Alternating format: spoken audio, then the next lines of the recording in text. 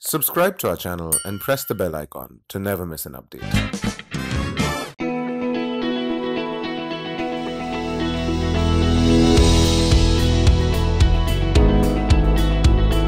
I know that when you were moving out of Directi, you had a bunch of offers and you chose to pick up Microsoft. What was the reason for that? And see, the thing is that a, a, lot of people here are going to go through that entire cycle of what is my next job? This is my job out of campus. I'm clearer now what I want to do. Now, what is my next job? Yeah.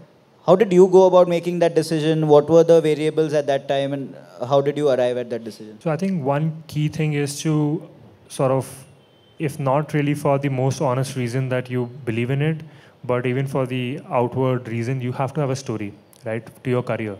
And it's okay if you are taking few years to figure it out. And I think everyone should um, sort of experiment to know what they're good at. But I think the space of uh, enterprise collaboration and sort of the general space of making people productive at work is what I have settled on. So, which is something like Slack yes, and Flock. exactly. Something that so you found great. For, from my perspective, when I was looking after Flock, I wanted to be in a place where, which is known for uh, these kind of products. And Office, Microsoft Office, made the most amount of sense. I was looking at uh, Google Suite as well, but I knew a couple of things very clearly in my head. One is I wanted to be in uh, enterprise software and not consumer software.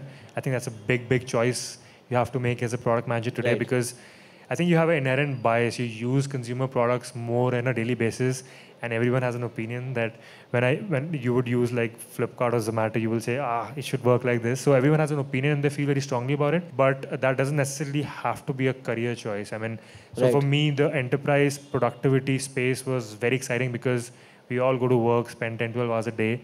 So the general problem of how to make people more effective and productive and make them collaborate better is a very big problem to be solved. So that's how I chose teams among all the options. So uh, within the under enterprise uh, team teamwork effectiveness space, you've worked across uh, two different products now, but you've grown as a as a product manager. So what are you handling now at Microsoft Teams? Yeah, so as most of you can imagine, um, the transition from like a startup to a big company like Microsoft was different in a lot of ways. Some of them were expected. One is that obviously I was working with Bhavin directly, right? So you sort of have a lot of say in the overall strategic decision making of the business, resource allocation, uh, and not just product. Like we would have sessions on branding, marketing, the entire business, the entire product. Right. And obviously over here, I knew that it's not going to be the same. Uh, but I think one thing that is really good about Teams is it is the fastest growing Microsoft product in the history of the company. So uh, what that means is it still has a startup environment and like our CVP actually uh, has reviews with us and you know on a, on a bi-weekly basis, which is unheard of in the uh, company elsewhere. I think it's sort of an anomaly in the company, which I sort of like. So it's a good balance of having the resources of a company like Microsoft to actually do big projects and also have moving fast enough and being nimble enough at least now to uh, sort of allow everyone to sort of uh, you know get their voice heard. Um, so that's one i think. And the second is i wanted to learn product management at a company like microsoft. Um, because uh, you always have this thing in your head when you're working in a startup that if you start feeling like you're the smartest guy in the room there's something wrong right? So you uh, you want to keep learning. You want to feel like, hey, is it all there is, or maybe there's more? And I personally have this thing in my head that I want to see how products like Word, PowerPoint, and such complex products, which are used by almost 200 million people on a daily basis, are built. So that was a big, big motivation for me. And maybe I don't know, maybe a time comes when I feel the need to go back to startups after feeling like, okay, I've seen the big uh, company product management, but that's the phase I'm enjoying a lot right now. What is Microsoft like? I, am sure most of us are very curious to know what is that organization like from the inside. Uh, there is a lot that comes out about the Amazon work culture and the Netflix work culture. There's an entire culture book that Netflix has. I don't think we know en enough about the Microsoft work, work culture in that sense. Yeah, so at a very high level, I think most of you would have read this in the media how you know Satya is sort of transforming the company. Uh, but how does it really affect us at a lower level? I think yes. um, one big change has been uh, the focus on India. And when I say focus on India, I don't mean the India market because, to be honest, that's really small, but the focus on Indian talent. And uh, uh obviously, Hyderabad campus was around for a long time, but now Uh, the investment in Bangalore has been very significant, and the entire uh, senior leadership of Microsoft believes that you know we're just missing out if you're not in India in a huge capacity. So that's one change, and what that means is that the kind of roles and the kind of people they intend to hire are very different. Uh, to be very honest, I think the product pieces that were being sort of exported to India were not uh, meaty pieces uh, for a lot of products, but that is something that is changing now. So just to give you guys an example, the Outlook mobile app is almost built entirely in India, right? You have a lot of other uh, mobile specific features built entirely in India, and for Teams also, almost one third of the product is actually being built in Bangalore. So we are sort of split between Seattle, Silicon Valley, uh, Prague in Czech Republic, and Bangalore in India. And we have a very, very uh, big charter over here. So I think that's has been one big shift, and um, that's something which I think it's a recent change. So uh, I even I had a perception that Microsoft is not the best employer uh, in India, but I think that's uh, been proved very wrong, and I'm happy about that.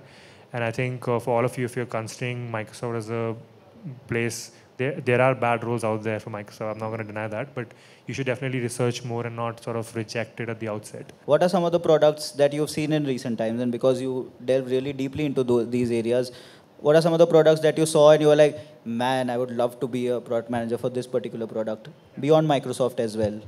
Oh, yeah, absolutely. I think Google Maps is one of those products which I feel very strongly about. Why? Because not just about the fact that you use it on a daily basis and millions of people use it, but, but I think it's becoming almost like an essential utility, right? And when you have utility products, um, you have a greater sense of responsibility.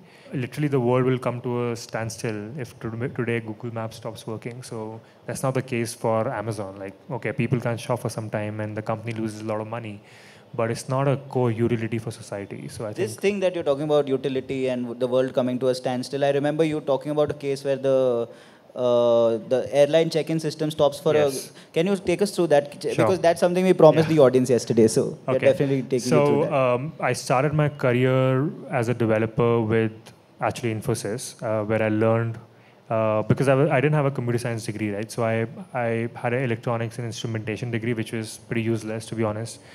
Uh, and uh, These are the yeah, EXTC I was like, why why am I doing this? Like, I, I'm not interested. I don't see myself making transducers in life ever.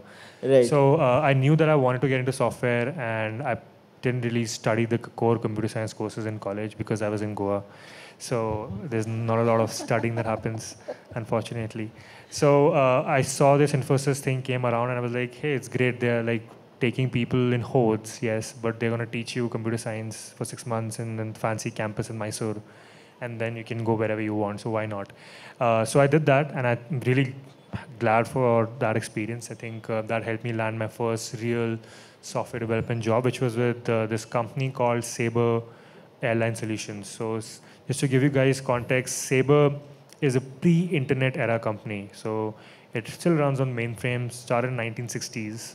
And uh, they power flight reservations, hotel bookings for almost uh, 40% of the airlines and hotels in the world. So my focus area was I was a developer in the self-serve check-in area, which means web check-in, mobile check-in. So I'm sure all of you must have used it. And um, uh, at that point, and it's happening in India also now, at least in the US market, airlines were completely reliant on web check-in and mobile check-in. check-in because they the airport real estate is really expensive for you to rent for your check-in counters. So the, what they would do is, if they had 10 check-in counters before, they would move to a system and they see people using only web check-in, mobile check-in, and do away with counters. So now you have like one counter, maybe for business travel Right. or whatever. So now what happens is if your check-in systems go down, everyone is scrambling for that one queue and they, they're trying to check in. And if your system goes down across the world, so your entire flight network will get delayed by many hours. And this happened to us multiple times. So JetBlue was one of our big customers. And for the developers in the room, it's really funny. So our web check-in broke because Adobe updated their PDF printing library, and the boarding pass that was people were printing did not have the barcode. So it was like a, a production bug, which happened because we didn't do anything, just because their library was not backward compatible, and we were all scrambling to fix it. And uh, if the pressure of the CEO on being on a call is not enough, we were getting reports on media about how JetBlue's entire network is getting delayed and people are missing their mom's birthday or whatever. Like people are stranded at the airport. Yeah, journalists are very good at getting those stories like yeah, that. Yeah, it's just crazy. So I think at that point, as a young guy, it's sort of the responsibility also we saw in real action that okay, it's not just about coming into work and writing some code. If you're working on such products, you have a responsibility to do it well because it affects people's lives in real ways. You know, so I think that probably was an experience which made me realize it's uh, much more interesting and I think responsible to try to work in products which affect people's lives. Which are utility products, which and that's make where I people's think lives the easier. productivity collaboration angle for enterprise comes into the picture. Like I love the fact that our product is used by millions of people, not just for five minutes to buy something, but 10 to 12 hours a day because that's the hub of how they work, right? So that's what Teams is.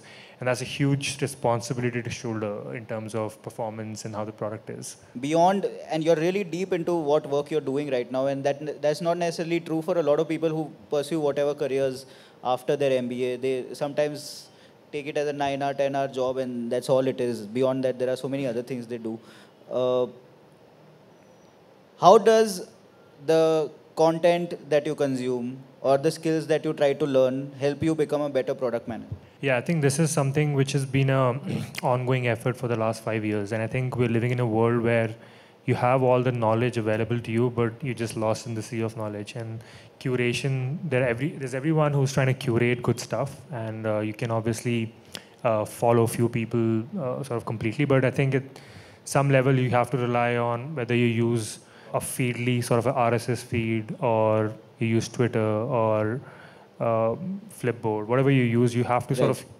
keep uh, trying to curate it because there are people who write good stuff. Maybe they have a blog, they write one good article out of 10, right? So you have to sort of get to the content which is like really, really valuable and curate the list for yourself. I think you only you can do it for yourself and it just requires a lot of, uh, you know, daily interest to follow people. So uh, I think a few th- that have had a huge impact on me, just to give examples, is Ben Thompson's uh, Stratechery. I think that's an amazing Right. blog. I discovered it a couple of, I think, three years ago, and I've sort of been a follower ever since. So again, his combination of finance, business strategy, product is really, really cool, and I personally learned a lot from it. And then there are obviously uh, a lot of VC blogs, Above the Crowd by Bill Gurley. A lot of VCs who invest in tech startups write very insightful stuff around why they're investing in a product and what the future they see. And the rest of the commentators, yeah. I'm sure there are podcasts as Yeah, well Yeah, podcasts. I'm, I think uh, in a week I consume maybe 10 hours of podcast. 10 hours of So all my both my commutes to and from office is on podcast. I mean, not all it is all of it is about technology. Sometimes sometimes it's about some funny stuff also. But I think it's about making sure that you have you discover that content and you sort of build a habit to sort of keep going through it. So, Game of Thrones, Rick and Morty, have they helped you become a better product manager in any way? Yes. So um, for Game of Thrones spec- specifically, I think um, when I'm in a day-to-day basis, when you're a product manager and you are um, trying to uh, rally the team behind a decision, and you, have you, you have developers who you don't talk like Jon. Snow then? no, no, no. It's uh, I don't like Jon Snow that much, but uh, if you have a team of let's say 20 developers, they don't report to you, right? Right. Typically, so one of the challenges of a PM role is you have to be the CEO of the product as a save, and you really don't have people reporting to you. So how do you make that work? And I think that's where the Game of Thrones line that power resides where people believe it resides sort Right. of comes into the picture. So again, people are you're working with really good developers, right? They're not stupid to listen to whatever you say. So you have to be really sharp, logical all the time to make a good case for why you have to do something. And I think building that trust, they should be someone who look up to you to. They should know that okay, this guy knows what he's saying and doing, right? So I think that is a constant uh, challenge. But once you sort of build that culture and you establish yourself, then you have a good rhythm of you know working on a day-to-day basis. and that is why they have OB courses during your MBA, right? So yeah, I think that's uh, what's the other one you said, Rick and Morty. Yeah, Rick and Rick and Morty. I think his philosophy for life in general.